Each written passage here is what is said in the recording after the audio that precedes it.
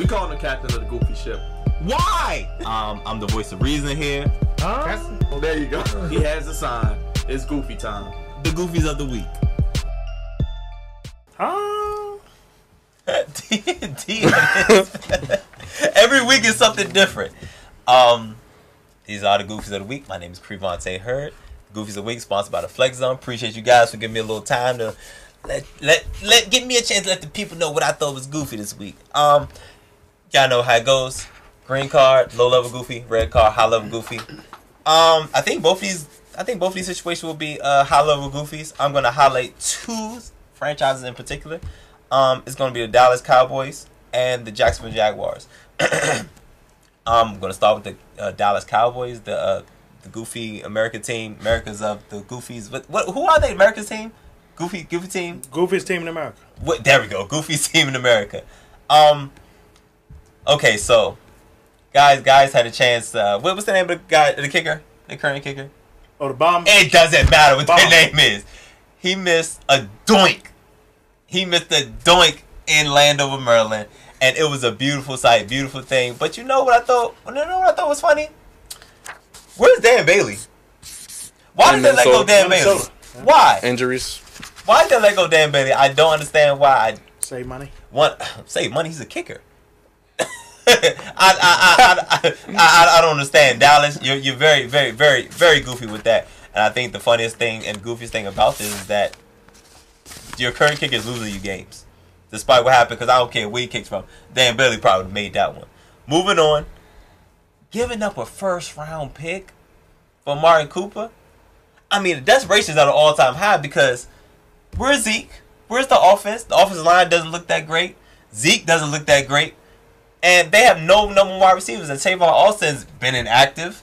What's really going on? So not only do they, not only are they in a turmoil for offense, they reach desperately with a guy who just got out of concussion protocol, Amari Cooper, with a first round pick. Giving the Raiders a third first round pick this year. Just for Amari Cooper to be a free agent next year. They must got money like that because why else would you do it? Anyway, moving on. Goofy, Dallas Cowboys. Now, the Jacksonville Jaguars. My goodness. Um, I was gonna say Jalen Ramsey back to back weeks, but you know what? No, it's it's a little bit more than just him. I'm gonna say it's the the whole team, the whole organization, top to bottom. Jalen Ramsey said something funny at the end of his uh, press conference. He said, "Ain't no secret to what's going on, and it ain't right." Quotation marks. Is could he be saying that the offense is trash? Could he be saying Blake Bortles is trash? Could he be saying that the offensive coordinator is trash? Like what? What could he possibly be saying? And you know what this all stems back to? Him talking all that trash in the off season. Talking about what quarterback was good, which one was bad, and he conveniently left out his own quarterback. They got burned too by DeAndre Hopkins. Hey, we're not gonna get into that right now.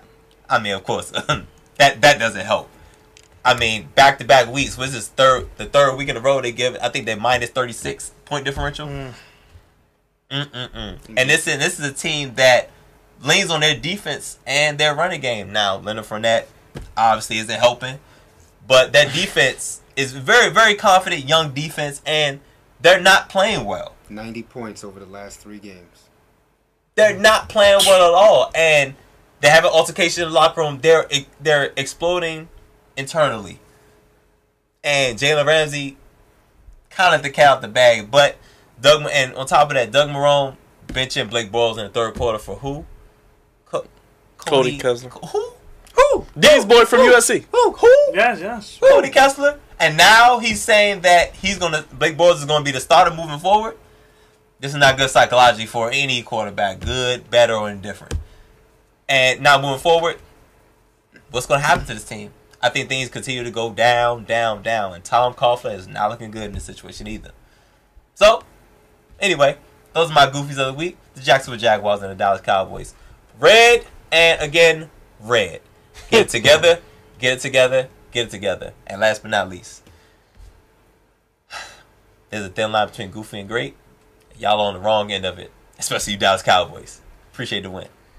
Oh, If you ain't down with that, we got one word for you. Goofy.